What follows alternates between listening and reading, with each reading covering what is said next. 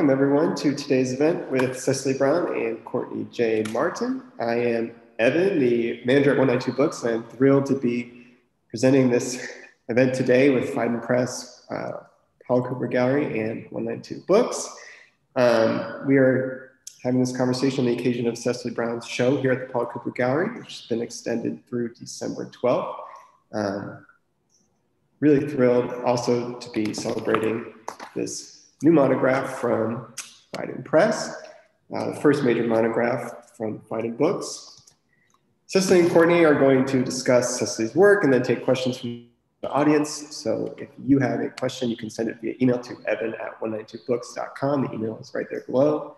And the earlier you ask a question, the better chance it'll get answered during the program. So uh, ask now if you like, um, or if you just have any thoughts during the conversation. Um, if you don't already know, Cecily Brown is a renowned painter whose uh, work is in the public collections of the Guggenheim, Whitney, MoMA, and the Brooklyn Museum here in New York, as well as the National Gallery of Art in Washington, D.C., the Tate Gallery in London, as well as many other museums across the world.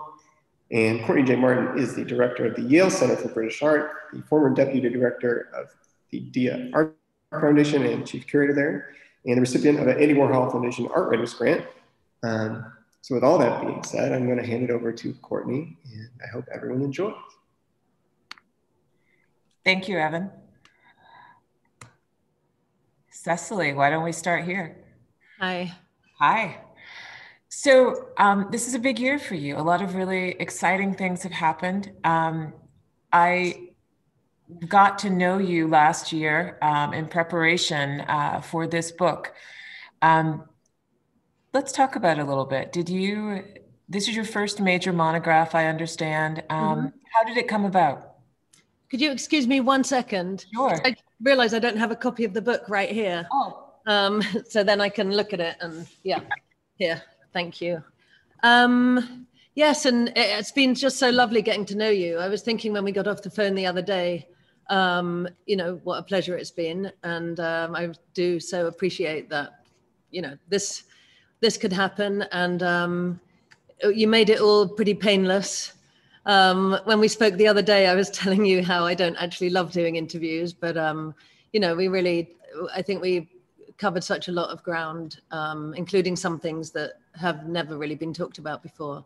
Yeah. So we got on well, and I, you know, it's funny because um, I don't think we'd ever really met properly before. You know, I think maybe like seeing each other in passing, but um, mm-hmm. you know, I connect your uh, first years in New York so much with my own because I saw those first few shows at Deitch, and um, you know, so getting to talk to you about them felt like going back, uh, you know, like re-meeting somebody from the past. Mm-hmm. It was nice.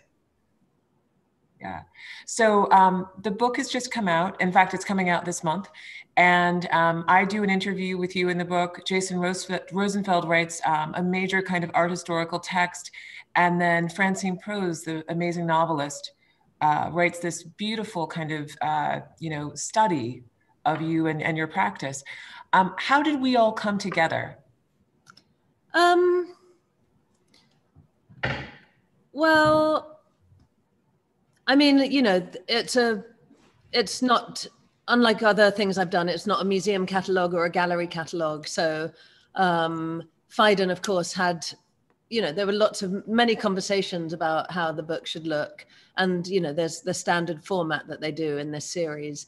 Um, so we knew that there'd be these three sections to the book, and um, gosh, it all seems so long ago. so much has happened. How did it come about?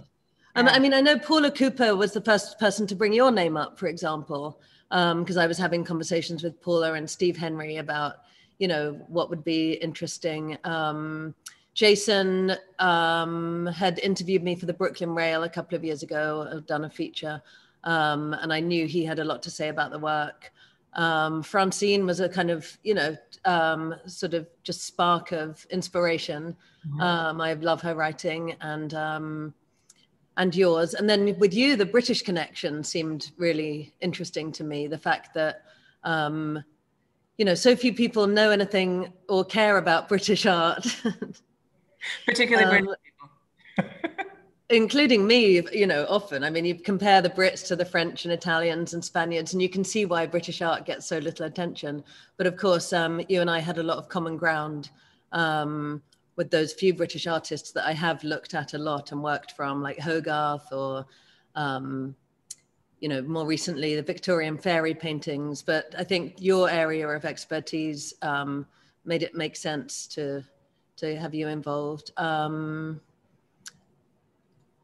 yeah, I think it's it's challenging because you sort of want it to um, be the ultimate uh, book so far, telling that you know what story are you going to choose to tell at this moment? Because um, yeah, it's been a busy sort of 25 years. Um, and I have been in a lucky enough position to have quite a few gallery catalogs. Um, so you know, how how do we want to make this different um, and make a sort of wonderful object that people wanted to keep around. Um, you know, it was, a, it was a group effort, wasn't it? It was. I think you're absolutely right. I think what's also interesting is that, um, you know, the the book has this great sweep to it in that you know you go back to some of your earlier paintings in the 90s um, where i think you know this is really uh, you know your entrance into uh, new york's art world in some ways but it's also we've gotten we talked about this a lot that um, what it was like to enter new york in the mid early mid 90s and what painting feels like now. You know those places are worlds apart. Yeah. and so returning in the process of putting together the book returning to some of this earlier work um, how did you reflect on that difference between the distance i would say between the two? Um i mean i think i'm at a point where I'm looking back myself at a lot of early work that's been happening naturally over the last couple of years. I hope it's not, you know, running out of ideas, but more that one's own work becomes a source where I might have always looked outward at other people's work. You know, now my own kind of becomes something I draw from just as much. Um, so, I mean, one interesting thing is how, you know, there are the obvious things that you feel you have to include. Um, you know, so 30 years later, well, don't want to age myself too much what is it 22 years later yeah. i suppose. Um, you know what are the things that still resonate with me? And for example this pajama game i've gone back to this image you know over the years maybe three or four times in different bodies of work. Um, as you know there are other images from imagery other imagery from the beginning that recur and that i've returned to many times. So in a way it just seemed um, you know it's it's to be able to as I said, tell the story, you know, pick which images actually really were moving one somewhere rather than, you know, I paint a lot. So there are plenty of paintings that I might, that I stand by, but they don't necessarily move the story along. So I think it was, um, it, for me, was a really good moment to do it just in terms of this sort of looking back. And I think I told you about this sort of mini retrospective. I paint, started painting for myself starting about three years ago. Um, and I had the show at the Louisiana um, I wanted to include monotypes. Um, and because I've always made monotypes and other prints from the very beginning, um, we realized pretty quickly it was going to be almost impossible to find all these early monotypes, but I have all of them in my head. So I thought, well, why not sort of make a, a whole new room full of monotypes, but take their subject from the last 25 years, sort of go back. And then it was sort of so invigorating and exciting to do, partly because you know there was a freedom because in a way that because the subject was already decided. Um, you know there was a sort of carelessness i think i had about it of going back to things i knew really well but um, approaching them you know with all, with hindsight really um, with painting hindsight. Um, so again you sort of get to the core of what really interests you. Um, and then through doing these i i sort of rediscovered certain subjects. There were some that i thought oh, you know, that you know, maybe tried to make one print and sort of got bored immediately, and others that I thought, wow, this is still really fertile material as a subject and visually, and there's still stuff I want to explore. Um, and then I went ahead and started making small paintings the same way. And so a lot of these early subjects I've been very deliberately tackling again in the last three or four years. So in that way, it was really good timing, I think. Mm. Um, but there's also that sort of sadness because I feel like I wish I could make this painting now, Um, you know, some of the early ones that I really like better than anything I've done since. And, um, you know, you sort of wish you could recapture that youthful verve. And it's really the sense of, I remember this painting so well. It's really the sense that I'm doing something for the first time that you mm-hmm. never get back, of course. Um, so, I mean, it was the first time I was painting larger, and I think I could afford good paint, as you mentioned. Um, I think. Do we mention that in the interview? Perhaps not. No. I don't. I think we um, talked. About, I think we talked about it. The thing that that that I found remarkable um, was that you, you know, this is one of the the sort of first public times that you're using photography. Mm-hmm. I think that's the piece that was was really striking for me, and the way in which. Um, you know you're using a photograph um, and that photograph i think if you see it it becomes quite visible in this painting but at the same time um, you know this painting seems to distill um, a good amount of what i would think of as a kind of vocabulary that does seem to inform your practice for you know many years afterwards and not necessarily in a linear way so it's not like by 2000 you're doing this and 2002 it's that right.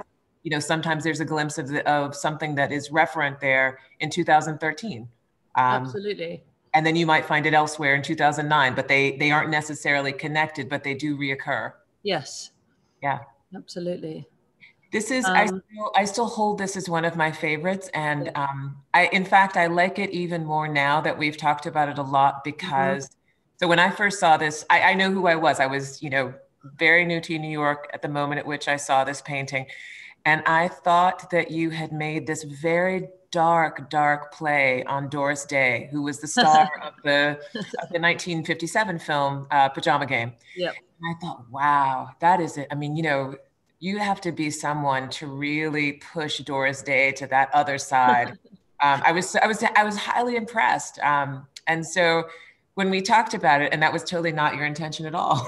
Right, exactly. more exciting, actually. Yeah, I just um, brazenly used the titles, and I was thinking of the musical, like more like. Um, you know broadway musicals rather than the movies with a lot of these titles but there is a very distinct blonde head in the middle i don't have a little arrow thingy but there's a red head and a sort of upside down blonde that kind of flash of pale yellow um, and the blonde is actually something that's recurred a lot. I feel like someone could write a thesis on the blonde in my work. And I don't think that's an obvious thing, but you know, that's one of the comforts of getting older is these things that, you know, pop up and that you reuse. And um, I mean, I, I feel like that could just sound like you are running out of ideas, but I think it's, you know, it's a, it just makes so much sense to you know self-examine and analyze and look back at things and see what you were doing. And um, i can as you say this sort of um, vocabulary that i'm figuring out for the first time here. But say with the pale yellow i mean it's a story of color as much as anything. And the way that you can sort of read the painting by reading say just the light yellows i feel like that's something that i've continued to do a lot um, maybe more consciously over time I think that there is also um, what was so clear, I think, to so many people looking at, at this work from uh, from that period, is that um, you just weren't scared of color. Mm. And that sounds so simple to say now, but I think there's this moment, um, you know, where where there is a feeling that to be restrained around color um, is somehow mature, or yeah. is you know is is reflective of of a kind of painter's maturity. Um, but yet you don't you let go with it. And i think that there is uh, it is very clear that you've come into your own i think at just that moment with the the absolute avalanche of the kind of color that you see. Did it did this feel like a lot of color when you were painting it this whole group of paintings? Yeah absolutely. And um you know when i first got to new york i, I didn't paint in color at all. Um, i had sort of cut out anything that i felt was too maybe pleasure filled or self indulgent. And color was one of the things that I sort of dropped. And as you say, you know, one wanted to be serious. And um, um, I'd, I'd shied away from color for a long time um, on my first few, year, first few years out of art school. Um, and I gradually got back into it by doing animation and realizing, you know, I had did commercial animation and then started making my own film. And it was through using a lot of color making a film that I realized it was ridiculous that I had sort of not allowed myself to use it at all. Um, so yeah, this was this was probably the most colorful of all of that period because mostly I started doing this thing of painting the. Uh, I've never liked the white canvas, mm-hmm. so I've started trying to paint the the ground one color before I started. So in that show at Deitch, the pajama game, you know, was obviously this deep cadmium red, and then there were others that had started bright yellow, bright blue, bright green. This is the one I don't remember how High Society started. Um, we've talked about this painting a lot because, yeah. and I was always so thrilled that you saw the same, you know, this painting for me was always one of the key paintings. Um, and I feel like I'm still wrestling with the forms that are present here, you know, especially this whole sort of tumbling form on the left mm-hmm. that to me is both, you know, an enormous profile and also, you know, the figures of uh, of women mostly, um, but trying to play on the double image. Um, I think this is the beginning of me trying to. I mean, I didn't know it yet, but working towards that sort of ambiguity where something can be read two ways at once or many ways at once but it's very much starting with that the idea of um, those sort of optical illusions where you can read read something two ways at once um, but you know moving towards my um, you know what i basically spent the rest of my life doing is you know working on that tightrope of having things be recognizable but at the same time sort of disintegrating or um, forming and reforming as you look at them. Did you th- do you think that comes out of having had such strong influences um, nationally, like you know, coming from the UK, having gone to the Slade, um, you know, figuration and painting at the time in which you're being educated, you know, people still took figuration very seriously. Um, do you feel like moving away from that that wanting a kind of uh, sense of doubling was a way of making sure that you were still involved in figuration but you were expanding it or it, or is it not related to figuration at all um i mean figuration was deeply unfashionable in england when i was in art school i mean there were people it was acceptable to look at david Salle or eric fischl and people like that or maybe susan rothenberg but um but you know, English figuration was way out. And I think I felt that it couldn't really be relevant. I couldn't find a way to use the figure that felt new or interesting. Um, so I suppose I naturally started breaking down the figure. But I'd always been very influenced by, say, uh, 60s paintings of the fractured figures. I've always felt this desire and need to paint a figure, but at the same time, just as much of the impossibility of doing it um, today. I mean, it seems, I mean, young painters don't seem to have a problem with it at all today, but um, it's almost hard to explain how how wrong it seemed and how sort of over it seemed to paint the figure. Um, but I mean, they very naturally sort of became more abstract, I think. Mm-hmm. Um, this was the, um, this painting was the painting that I frequently used when I taught um, to try to get uh, my students, both art history students and art students, to see a grid without immediately attaching it to minimalism. Because it was it's very difficult actually. I think people you know particularly people of a certain age that um, perhaps the idea of a grid and the idea of a grid coming out of modernism is so attached to a certain kind of formalism that i wanted them to see um, the grid as a form of organization. Mm-hmm. And to understand it differently and so i would often use uh, this painting because i mean it, you know it's very easy to do and you set up this kind of quadrant um, in this painting that you see replicated in, in other parts of your work um, but it was also interesting to see the responses to it because often it was a it was a real revelation. People saw the color first and then had to work through the painting to actually see its structure. But then once they saw the structure, they couldn't unsee it. Mm-hmm. So very cool kind of doubling in that sense as well. I think one one of the things that influenced me the most when I was at art school was um, the National Gallery in London were doing these series this series called The Artist's Eye, and I remember Bridget Riley did one when I was first at art school, and um, she analyzed the Titian uh, Bacchus and Ariadne, which was always one of my favorites. And I, I just remember it was this revelation because she sort of drew a triangle across the a line through the middle to show that it was just two triangles basically. and the way she broke it down. I feel like the blue in this um, is really referencing that blue from Bacchus and Ariadne and that idea of sort of building a painting in this very mathematical way. Um, even though my when I paint, it's pretty free, but that there, I think there's always been a lot more control than people think in terms of trying to structure the picture. Hmm. Um, well, that's a big leap. it is a bit, you know, it's funny. It is a huge leap. Um, and yet the thing that connected uh, these for me was the blue shows up again here. Mm-hmm. It's smaller, but there those little pools of blue really do um, stay resonant uh, throughout your practice. Um, talk about, explain where this comes from, um, just as a as a painting, because it is, you know, it's fairly recent.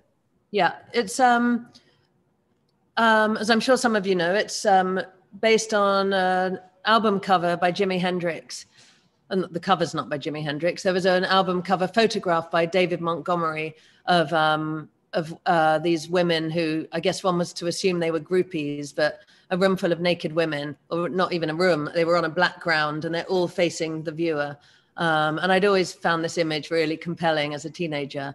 Um, and um, it actually came about because White Columns, Matthew Higgs asked me to he was doing a show, some sort of benefit, um, where you he wanted artists to pick an album cover to riff on, the kind of thing I normally run a mile from. But because this image had always been in my head, I said, "Yeah, I'll do it," because I'd always related this in my head to like Ingres uh, bathers and um, you know pictures of harems and things. Mm-hmm. Um, and in a way, this is like a, a really um, you know contemporary way to deal with something like a harem because i've always, often i've been drawn to subjects from old masters but you just think well i can't do bathers because bathers don't really exist today so like who are these naked people in a glade? Like it's just not something you'd see. So i think i leapt on these women in a way as how to paint a crowd of nudes um, but in a way it's a bit like with the titles it's slightly shirking responsibility by using a, an existing image um, to sort of get started but I, what I did was go to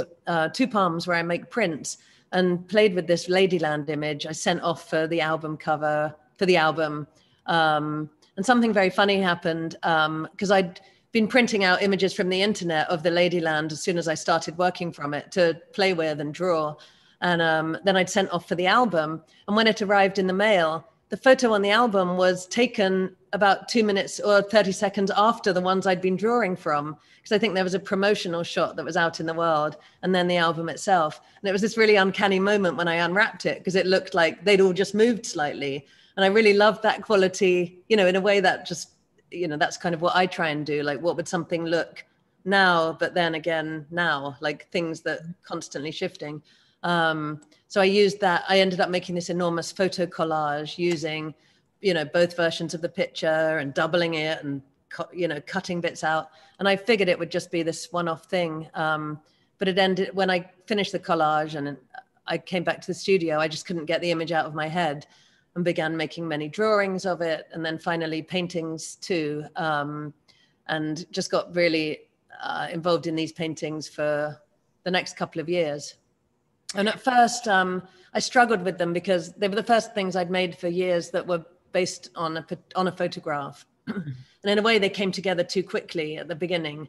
But um, and this is what often happens with me if I try and do a clearly figurative image. I feel like it just it's too resolved too soon, and then it's kind of like, well, what do I do now? I mean, so I, I started making like three or four of them um, and then I had to, I paused for about six months. I just didn't know what to do with them because they were so, they were still too photographic. I was kind of seduced by that because they looked so different from everything else I'd been doing. Because I think what came before this was probably one of the most abstract moments um, for the few years before this. So I really was, I wanted to get hold of the figure again um, and to get hold of many figures. Um, but I sort of struggled with how to proceed um, and eventually went back into them. And it was there was one in particular that was very photographic looking, and I it was just figuring out a way to sort of fuck it up. Um, and it started sort of it started looking like it was melting, and I realized you know that was the clue of how to go on with the others. Um, but honestly, I could still be painting this now. It's still had to sort of force myself to change the subject after a couple of years. Yeah. Um, but then the women end up haunting nearly all the paintings ever since because in a way this way that they're this ready-made crowd. So if i want you know the suggestion of other figures you know i drew and painted them so many times that they're almost they come out without me even thinking about it. Um, have you ever used a live model? Um, not for many years. I did all the time when i was young. I did in school. Um, i did life drawing every day for a few years. Wow. Okay, we didn't. I probably should. I always think I should again, but it's just the practicalities of it, and I think I'd be. Um, I mean, Francis Bacon said it be inhibited by having the model there. I think their mm. personality and having to deal with their breaks and do they wear a robe or you know do you make them i don't know it's just another human i think it would be sort of obtrusive probably I think if impressionism as a as a concept teaches us anything, that um, the model will emerge as a subject, whether you want her to or not, mm-hmm. and that's you know that and that's a hard thing to deal with. That you're right, that is another presence that's there. I mean, I started working from photographs, you know, in the around the mid '90s. I mean, I, I drew from photographs all the time, so you know, with a lot of the early erotic work, I I copied porn and erotica um, just to kind of figure out how the bodies would go. You know, they're actually quite cold drawings. I think some of the, you know, they're really just getting the information, and that's probably where I started the thing of always copying other from outside of, you know, not making up drawings, but almost always copying from another source as a way of just getting that information, so that when I came to paint, I sort of had in my muscle memory. Mm-hmm. Talk to me about the size and scale of of this work. Um, you know, it is large in, in scale in some ways, but then in other ways, it's, you know, it's uh, this, the kind of orientation of it as it almost feels like a frieze You know, there's an architectural kind of feel to this. How did you, how did you get here? Um, well, I'd done uh, multi-panel and especially diptychs and triptychs for years. Um, and it had actually started because I didn't have enough space to do large works in a previous studio. So putting two, three panels together was just a way around that to work bigger, because I've always liked working large. Um, um, but in all the other cases up until this one, I'd I'd have two, three, or more panels, canvases, and I wouldn't ever decide which order they were going to go in. I would just start, and part of the fun or the process would be, you know, taking away, remove, being able to remove half a painting and just work on the other half you know putting them back to front putting them you know that way of keeping things very open um, for as long as possible and often not deciding till very near the end um, in which order they'd go. But this one was so big um, and for once i had quite a clear idea in mind um, before i started. Not super clear but I decided at the very beginning the left will be the left and the right will be the right, and nothing's moving. So, this is their order from the very beginning and I think it was I felt like it would be too unwieldy if I didn't do that. Um, not just the physical thing of moving it around, but I just needed to make that decision very early on because um, this was the biggest thing I'd done at the time. Um, and I'd just been to LA, and uh, I have a child, and um, we'd been spent time at the La Brea tar pits. Oh, La Brea you know, I mean, I mentioned her because I'm, I think I might not have known about it otherwise because I'd been to LA plenty of times before I had a kid, but now we always go to La Brea and it's this wonderful museum. Um, um, and there are these tar pits and reconstructions of tar pits. We went to the little display, you know, they have a put on a show for kids. Um, and when I left, I couldn't stop thinking about these tar pits. The way they taught, taught it to the children was most um, compelling because they had these um, sort of x-rays of the earth as the as the animals would have sunk down in the tar pits through many centuries. Um, it's just these extraordinary images I came back with. So the whole panel on the left, I was thinking about tar pits a lot. I actually thought I was going to go on to do a year of tar pit paintings, but this ended up kind of being the only one.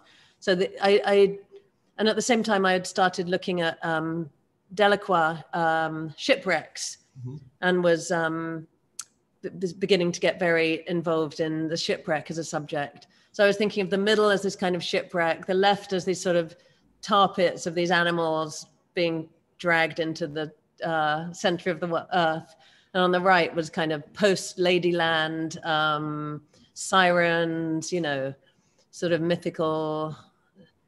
The great thing about working on this scale is it's um, it's like having an enormous stage. I mean, I think it's very unfashionable to talk about a painting as a stage, but really, I think on this scale it is like that, where and the whole thing is so physical, it does become a sort of performance. Your body is very involved. You have to be very energetic and active and up and down ladders, and you know, um, it's like you have to be physically very present. Um, so wait, is the do you mean that the stage is the construction of the painting on a large scale, or is the stage the viewer's reaction to seeing this thing unfold in front of them? No, the stage is the canvas. Um. I was thinking more, or maybe more like a dance. Okay. Um, I was talking to a choreographer friend um, last week about it. How, you know, I always think it must be so different if you're a dancer and you rehearse in a smaller space you know, for months and months and months, and you're all aware of where each other are in the room, and then suddenly you have to do it in a theatre, and everything feels sort of different around you. I think just that sort of what I was trying to say at the beginning was just this sense of having more space to move around in that you physically and literally have can get away with more in a way that you can do something over here that only mildly has to relate to something over there just that the stage for me is so much bigger as well to like move through space um, I did start feeling sort of like a dancer with this scale, which is great because I'm completely have two left feet. Um, but you know, the sense of bodies moving through space, I feel like it's very much the trace of a body. I mean, I think that's partly what works about this scale is this. It's huge, but something about this trace of the my size and scale remains. I hope that makes it feel also on a human scale and not you know, because you, you, want it to feel intimate, even though it's so huge. And then yeah. Paula was clever enough because I used to always hang paintings high, but insisting on hanging it low. So it was really this very immersive thing um, where you really, when you were up close to it, you were really immersed.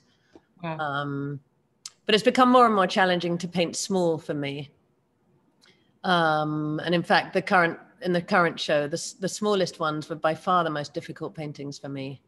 Um, so I, I've always tried to change the scale a lot and keep myself on my toes, but in a way, this is the most satisfying and engaging. Yeah. So the biggest revelation huh. in all of the conversations that we had in the last year, the biggest revelation for me um, was your connection to Maggie Hambling. And I'd read about it um, and even the first time that we talked about it you sort of mentioned it but i had i had never thought about it visually and tried to put together what it would have been like um, to have seen that work so um, you know she gave you studio space as, when you were a student right before you went to the slade um, and i and, and i think this is right that you basically put together your portfolio in the studio space that she loaned to you um, right. so you could get into the slade mm-hmm. yeah and we talk about this in our interview um, that yeah well i was failing to get into art school at the time it was like 85 i guess 85 86 um, i couldn't get into to school so um, i enrolled in maggie's life drawing classes at this sort of adult education place and i loved her work. And the one on the left was um, super important to me because probably the first thing of hers that i saw. Um, i think she she had a show on at the serpentine around the time that we met or that we i started going to her class. Um, and looking at it again you know because i remember i was in love with this painting. I had a i had the invitation from the serpentine on my little board for years. Um, and i think what it was was because i knew i loved old master painting so much but i saw very little of it in contemporary work. And so it was always sort of the struggle to me. I saw old painting as fresh and new and alive but i felt like you know, I sort of conflicted about having this relationship to it and didn't see any evidence in contemporary art that there had ever been old painting. And Maggie was someone who I felt um, brought, you know, painting of flesh, for example, which was my obsession, brought the painting of flesh and even a mythical subject into not today exactly, but a very lively painting that um, I kind of like the anywheresville of it as well, which I think also drew me to the Electric Ladyland. This sort of not one worrying about where he is, or you know that he's obviously a creature in a painting in an artificial space. But um, so looking at it again, I can think of many ways that I think it I um, it influenced me at the time. Mm. Um, the meat, you know, the the sort of more gentle Bacon, Francis Bacon in a way, more um, you know, the direct um, exchange with the viewer of the Minotaur and how you know empathetic one feels towards him.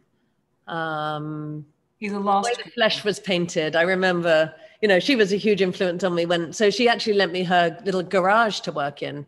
She moved her cars out, and, and um, so I was working in her garage for a year, and um, I had all these fan brushes, like she did, and you know, lots of Indian yellow, just like Maggie, and um, and um, I remember the way the, the way the chest is painted is very beautiful, and I completely remember just trying to emulate that. Um, and she was a wonderful teacher. So with drawing, I mean, she was absolutely the biggest influence on me. Um, and she was such a hard worker that you know that her her the way she lived was incredibly important and big big of influence on me. Mm. Um, and I was also her cleaner because that's what I used to do cleaning jobs at the time. Um, and I used to look after her cats when she went away. So the the painting on the right hung in her house so I would always see it when I was looking after the cats or doing the cleaning. Um, and again, I was just madly in love with this painting. I was about 18. Um, I still love it. Um, it's very early. I think she was probably about 18 when she did it. Yeah. So she was she was a big role model and uh, heroine, and we're still friends, of course. Yeah. And she has a show up at Marlborough in London right now. Great, she does. Yeah um, for those of us who are coming to us from London. Yeah. So you've got a show in the UK as well. Yes. Um, this is Blenheim Palace, uh, finished in the sort of English Baroque style by 1722. Um, for people who are seeing this for the first time, I just want to make clear how important uh, your show is in this space. So you know, Blenheim is um, an English heritage country house. It is one of the largest. It is probably um, extremely well known from having been, you know, depicted in film, but also being a, a tourist site. Major collection of old master paintings, fantastic Reynolds and Anthony Van Dyck works are there. Um, it is the ancestral home of the Spencer Churchills, uh, where the Duke of Marlborough uh, has a seat. It is also uh, the birthplace of Winston Churchill. But the big deal, I think, um, for you, Cecily, right now is you are the first contemporary artist to make site specific work um, for an exhibition in the palace. I'm not sure. I think some of the others may have made site specific. I'm the first painter okay. and the first Brit. Um, I think some of them did make site specific work. Okay. Maybe Lawrence Weiner and uh, Barbara Kruger. It's technically the difference is that you're inside and it's an exhibition and you're a painter. I think that you're right. Those yeah. are the qualifiers. And I think with the paintings, because I'm a painter, I'm the first person to sort of remove a painting and put something else. You know, whereas Lawrence we you know, people did their thing because they were mostly sculptures or sculptors or conceptual artists. Their work was in the space, but not maybe integrated so much in the same way because um, just the nature of their materials. And I must say, when I was first invited to do it, I thought, oh, I wish I was a sculptor because sculpture would be what would look great here. And I was actually planning to do a mini show within a show um, um, and invite four or five other artists to do a piece. Other sculptors, like invite sculptors and and sound, um, but it it was it couldn't come together in time. Wow. The main person I wanted couldn't do it, so I ended up abandoning the idea. Yeah. Um, but yeah, because I, you know, I've always been reluctant to show paintings with with older uh, with older paintings, um, but I ended up, you know, being thinking it, it worked out pretty well. What's what's that reluctance about? Is it a fear of yeah. not meshing? Like what what is that? I think it's a fear of not measuring up. Really simply, you know that. Yeah um, yeah, the the painting just would look kind of crappy next to something that's really good, you know. Hmm. How did you approach this project?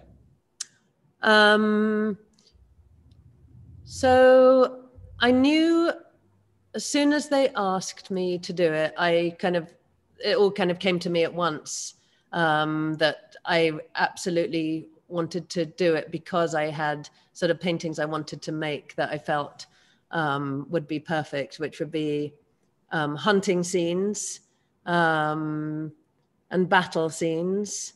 And um, I mean, maybe it wasn't as immediate, but as I think I went to visit. And um, first of all, they've got toy soldiers everywhere, like little battle scenes and reenactments and little models. And, you know, the whole place is obsessed with war um, and Churchill, of course. And, you know, I could, I just thought, I think battles actually came before Hunt. So I thought, okay, I want to do battle paintings.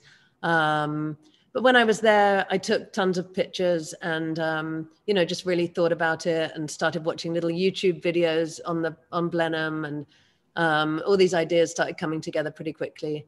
Um, oh gosh, I'm trying to remember in what order it all happened about sort of starting to do the hunts. Um, Can we talk a little bit about the hunt because? Yeah I'm I'm really fascinated by how you get to this painting, um, which is seen here um, just behind the bronze. So you de- you describe it as being the hunt after Frans Snyder's, um, and this depicts, you know, I think in many ways uh, the sort of the, the feeling, the sort of expression of a hunt, the kind of the tearing through of of these animals, you know, in pursuit of each other. Seemingly, there are no humans um, in the space right? Mm-hmm. Um, and the Snyder uh, in question is uh, Frans Snyder, 17th century painter um, that you would have been familiar with from perhaps going to Kensington Palace to see the painting that's there, that's the larger version of the one seen here of the boar hunt. Was that uh, why this painting at relative to uh, to Blenheim? What you were thinking about at that moment? How do you get there with this painting?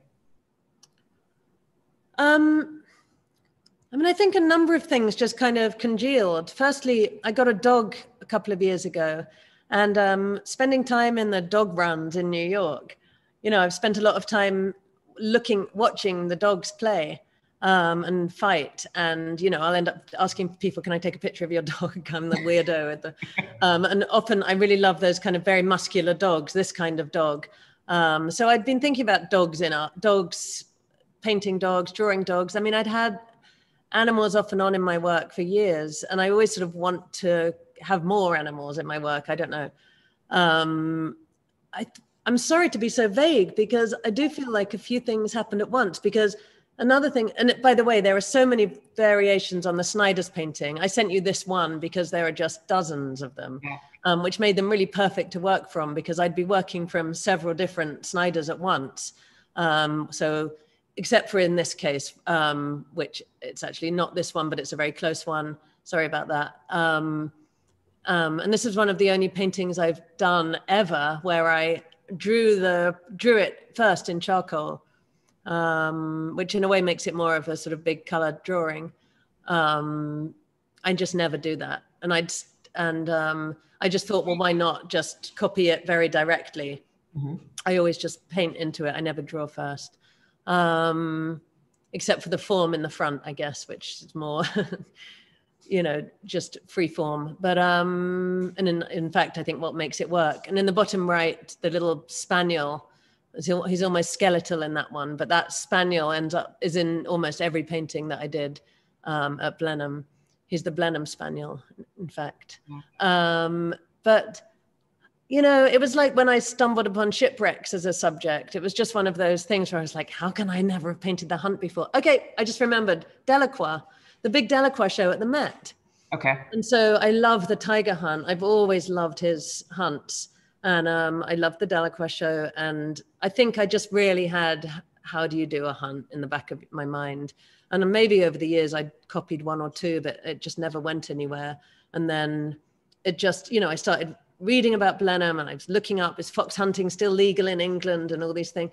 And um, it is. It's not, but they still do it.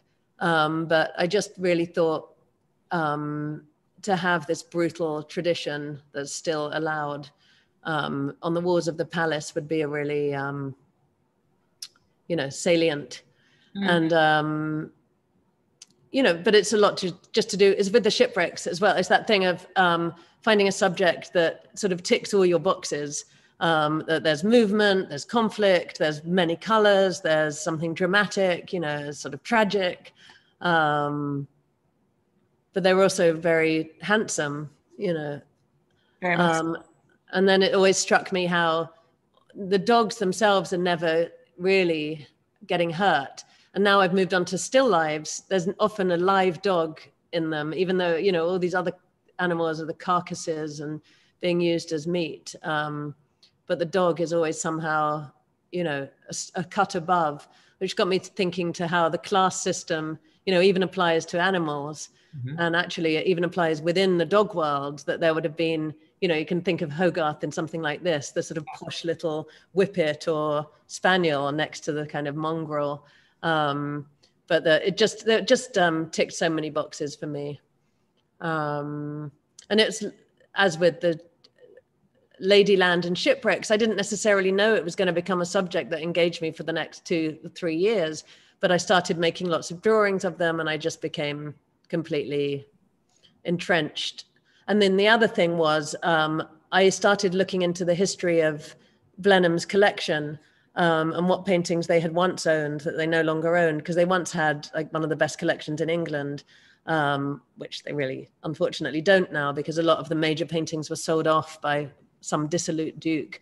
Um, and I managed to get hold of the catalogue online of everything that had been sold off. So there was one moment when I thought, wouldn't it be fun to paint a miniature or a version of every painting that they used to own and hang it here actually in the long library? but there again there wasn't time. But the funny and lovely serendipitous thing was they had actually owned one of the snyder's hunts.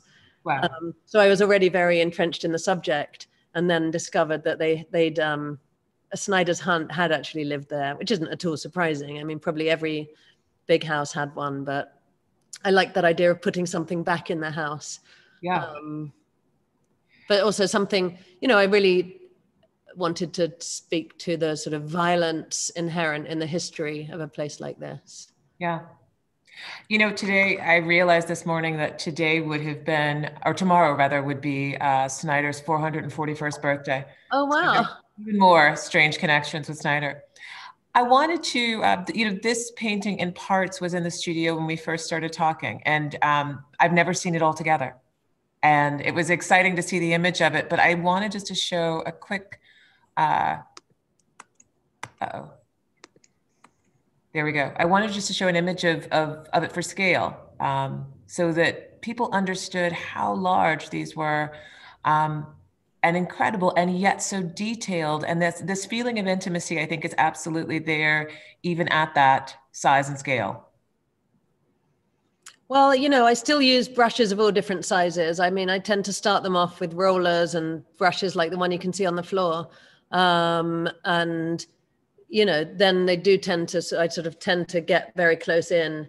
I mean the trick is to keep going out again. So sometimes i have to be quite um, um, you know brutal and get a big roller. You know even if something's become quite detailed it just becomes too fussy and go back into it with the rollers and sort of edit um but yeah i mean i was you know, at first when I wanted to do a painting for that space, I kind of dismissed the idea when I realized I couldn't fit anything that large in my studio. But, you know, then the idea of just doing it in four parts. I mean, I've often worked in parts, so it wasn't that big a deal. Um, and it was, uh, I'd been seeing this fresco in Naples, in uh, Palermo a couple of years ago, and that had been on my mind a lot. Um, and it was actually divided, it's divided into four parts, which was really the very simple, dumb way I got to using that fresco as my four part. It was even, it was, the, it's the triumph of death, which I've been sort of, you know, the, the, the show was postponed because of the pandemic. So I said to someone, look, you know, I would, I would never have painted this like during the pandemic. I would never have done a painting called The Triumph of Death. Um, so I'm just grateful that it has the date 2019. Um, but the, the reason it's based on that fresco is really just the idea of something in four parts. Um, it's a kind of a coincidence. Yeah. So I think that we should go to questions now. Mm-hmm. I'm going to leave up the images um, so that we can just have a kind of brief run through the current show that you have at Paula Cooper. Yeah. Um, but we can take questions, I think, through the chat if people have any. Okay, Jordan asks, could you expand on the difficulty you have with the smaller scale paintings? Do you welcome the challenge? Is it somewhat similar to painting again as your younger self with fewer resources? Um, no, it's not similar to painting as my younger self. But funnily enough, a lot of the subjects um, of this, these paintings, I kind of call them bedroom paintings as a group. And these were my sort of lockdown paintings. And so these were the ones that were the most difficult. I think it's the sort of medium sized scale that's really hard because, um, you know, actually at the same time I was working on smaller ones and slightly different scaled ones that weren't such a problem. Um, but the, the, actually the scale and subject are very similar to things I was doing at art school of a, a figure in a room in ecstasy, maybe alone, maybe not. Um, I think the hardest thing for these was, uh, again, it sounds really dumb, but it was just that they were interiors and they had a lot of straight lines. And I've really never done straight lines. I, my works have always got that sort of organic, flowy feel, and very rarely is there anything geometric. So I think that was just, um, you know the main the the hardest thing about them trying to paint these spaces and then you've got the whole problem of where the figure is in the space and wanting to keep that um, sort of a degree of quote unquote abstraction while still sort of narrowing down that they are in a fairly specific space. Because i think in a way most of my fleshy paintings are usually half flesh half landscape then they're usually outdoors um, so the feeling of being inside is quite foreign to me. Mm-hmm. Um, and they're just, they are very sort of claustrophobic, which, um, you know, probably yeah. reflected the time. We've got a question from the Tracey Emin studio. Oh. She asked, firstly, a huge congratulations on the success of your recent exhibitions. Thank you, Tracy. Um, and the question here is, sorry, I just lost it. How many uh, paintings do you make in a week? In a week. in a week. I don't make any in a week. Um, what I do, I often start several at the same time. I know from my Instagram, it looks like I make like 20 a week, but other people, there'll be things that hang around for two or three years. So I never finish anything in a week. I might start, you know, depending on the scale, like with small ones, I might start up to 10 um, but I really keep a lot of balls in the air at once. Um, you know, and with the thing of changing scale, I've always really made a point of changing scale a lot. So I'll have small ones that are on the go. Often the small ones actually go on for much longer. I've got things that might be five years old that I then go back to, and partly that's just an ease of keeping them around. Um, but I would say the average, you know, the the painting on the right there, the very colourful one, is uh, was started pre-COVID and probably worked on for about three months, mm-hmm. and then I just worked on it for uh, maybe a week or two in the summer. Um, the one on the left was actually quite fast, and that was funnily enough the only one of the bedroom that was sort of towards the end of doing all those bedroom paintings, and that one finally flowed. And I think it's the format is because it's long and skinny. I just it just worked more. Maybe that that's just a format that seems more natural to me. It's extraordinary how, to me, it changes, you know, um, how something flows much more easily. For example, there are two paintings in the big room. I don't know if you have a slide of them um, that probably might, no, keep going. Yeah, on the left. Um, I think that scale comes most naturally to me, and that is about sort of my scale. It's sort of almost about as far as my arm can reach in any direction and those actually were much faster the two of that size than the the three in the room next door which are very congested um, so tracey um, very occasionally i might finish one in say two weeks but more often than not it's between three to six months i'd say mm. And um, yes and then but there are works and i because i put things away and bring them back out you know there's always a lot of stuff going on and I, I, it's very much part of a process for me to put things away for you know sometimes months not look at them do you think about them while they're away Like without um, looking at them, are they are they kind of in your mind or in your dreams? Uh, sometimes they are. Yeah, I mean, I think it's all one big work, really. So yeah, it's all kind of part of the same thing to me. Um, I mean, sometimes there'll be a moment where I'll say, "Wait, what are those two over there?" And there'll be two things that maybe I just started, worked on for a couple of days, and put away, and I'd almost completely forgotten about. So, but there'll be, a, you know, along similar lines to other things that are going on. So it's all really like one big body of work. Hmm. Micah asks, "How do exhibition settings influence the way you work, the way you think about your work?" Um, the Palace and the Paula Cooper Gallery are starkly different. Um, how does your work's replacement shift the way you view your own pieces? Um, well, until a couple of years ago, I'd only ever done works that I knew would end up in galleries, or not end up, hopefully, but you know, pass through galleries and be in a white cube.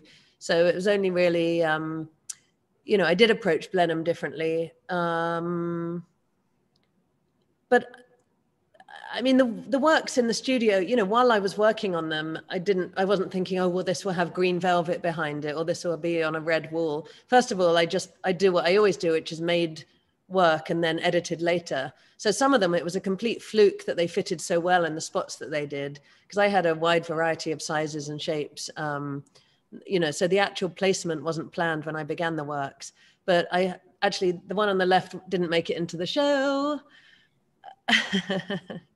it's come back to the studio actually, and yeah. I'm working on it. Um, sometimes, you know, that's an interesting thing. I got that to the gallery, and it just didn't stand up. Sometimes it's so hard to see things in the studio.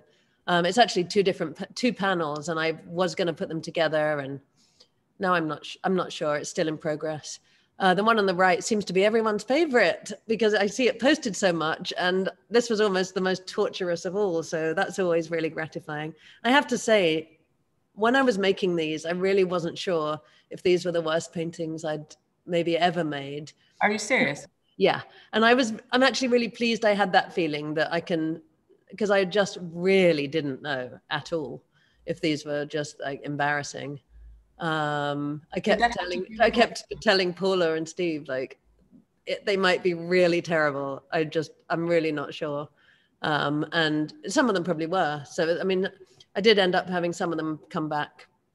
Um and the, the best three ended up hanging. Um but it's it's really interesting to me to see how people react because um but in answer to the question micah um I always try not to until except for Blenheim and one other project. I've always tried not to think of where things are going and just p- try and paint very freely, as if I'm a kid, you know, and no in in my garage and Maggie's garage, and that no one's going to see them or care about them. I think that's the only way to to go. And then, um, you know, it's a challenge to keep challenging yourself. Um, so you kind of have to not really think about the audience and not really think about how they'll be seen or thought of. But in the in the end, you know, the studio looks more like a gallery than a palace. So the way they look on a white wall, I didn't change my approach to making them. I think, and all the subjects that I worked on for Blenheim were things that I feel like I I could easily have worked on anyway. Like I've always wanted to do battles, and I've always done landscapes, and there were fairy paintings too at Blenheim, and that's another subject that's kind of been lurking on the edges. So. Um, in other words, I wouldn't have, I wouldn't accept, I wouldn't want to do a show somewhere that didn't resonate, where I really felt like the works could, you know, make sense. Well, I guess that's obvious. Claudia Getting talked out. Claudia asked, do you start a painting with a certain source and strictly stick to this source during the painting process? Or can there be a change to a different source after the start? Um, no, I change a lot. I mean, I often I have a lot of things lying around on the floor. So usually when I paint, I'm not really looking at the source so much anymore. Um, I, I'll draw a lot very directly from from the source. But then the drawings are not um, studies for the paintings as such. They're really just that sort of getting in the information. Um, and I don't I don't look at the drawings when I paint. So say with the hump paintings, I had like 10 different Snyders printed out, or the, the ones at Paula's are uh, still lives, are also Snyders. The big one is based on Snyder's still life, um, which I came into very naturally after the hunt paintings. Um, you know, before and after the. Um, but um, sorry, I'm losing my thread. That's okay. I, you know what? I think actually we've talked a lot. Are Maybe, we done? Yeah, I think we're good. Yeah. This might be a good place to wrap up. Thank you so much, Cecily. This was wonderful. It's good to talk to you again, as always. Lovely to see you. And so, you know, I know how busy you are. So thank you so much for taking the time. No, a total um, pleasure for me. Thank you. And thank, thank you, Evan. thank you so much to Cecily Brown and Courtney Martin for that wonderful conversation. It's so great to just immerse yourself in, in sort of that conversation between two wonderfully intelligent people and just take a break during the day. Um, if you know people who can uh, watch during the middle of the day, we'll have a recording of this conversation posted shortly. So watch again or send it to your friends. Um, as a reminder, Cecily's show at the Paula Cooper Gallery has been extended till December 12th. And if you'd like to make a appointment to come see it, there is a link below on this page. You can also go to paulacoopergallery.com to make your appointment. Um, the catalog from Phaidon Books comes out November 18th. If you'd like to pre-order from 192 Books, you can send us an email or, or give us a call. Um, if you can't make it down to Chelsea uh, for any reason, you can also order the book through our bookshop.org page. Um, we're open every day from 11 to 5 until 6 on Fridays and Saturdays for socially distanced browsing. So please come by and say hello whenever you can. Um, thank you again to Cecily Brown, Courtney Martin, and to everyone at Phaidon Books and Paula Cooper Gallery for this wonderful afternoon.